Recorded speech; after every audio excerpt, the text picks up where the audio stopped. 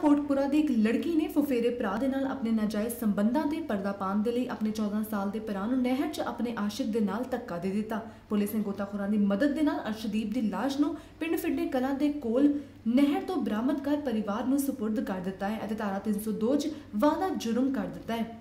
ये जो बताली number F I R उन्नीस तारीख को अंडर सेक्शन तीन सौ चौंठ चौंती I P C city Kotpura में दर्ज हुई थी इसमें जो शिंदा सिंह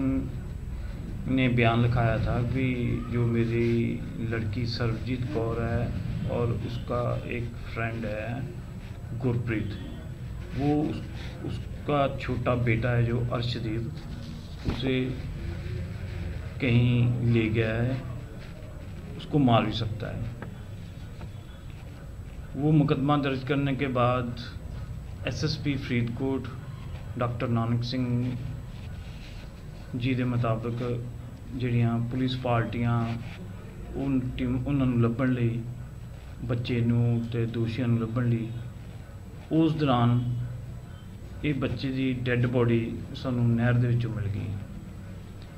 ਉਸ ਬੱਚੇ ਦੀ ਜਿਹੜੀ ਡੈੱਡ ਬੋਡੀ ਆ, ਉਹਦੇ ਫਾਦਰ ਨੇ ਸ਼ਨਾਖਤ ਕੀਤੀ ਹੈ ਵੀ ਇਹ ਮੇਰਾ ਹੀ ਬੱਚਾ ਹੈਗਾ। ਉਹ ਬੱਚੇ ਦਾ ਪੋਸਟਮਾਰਟਮ ਕਰਵਾ ਕੇ ਉਹ ਵਾਰਸਾਂ ਦੇ ਹਵਾਲੇ ਕਰ ਦਿੱਤੀ ਆ। ਮੁਕੱਦਮੇ ਦੀ ਇਨਵੈਸਟੀਗੇਸ਼ਨ ਦੌਰਾਨ ਜਿਹੜੇ ਉਹਦੇ ਦੋਸ਼ੀ ਸੀਗੇ ਉਹਦੀ ਲੜਕੀ ਤੇ ਗੁਰਪ੍ਰੀਤ ਉਹਨਾਂ ਨੂੰ ਅੱਜ ਅਰੈਸਟ ਕਰ ਲਿਆ ਗਿਆ ਹੈਗਾ। ਉਹਨਾਂ ਨੂੰ ਅਰੈਸਟ ਕਰਨ ਤੋਂ ਬਾਅਦ ਜਿਹੜਾ ਇਸ ਮੁਕੱਦਮੇ 'ਚ 302 ਦਾ ਵਾਧਾ ਜੁਰਮ ਕਰ ਦਿੱਤਾ ਗਿਆ ਹੈ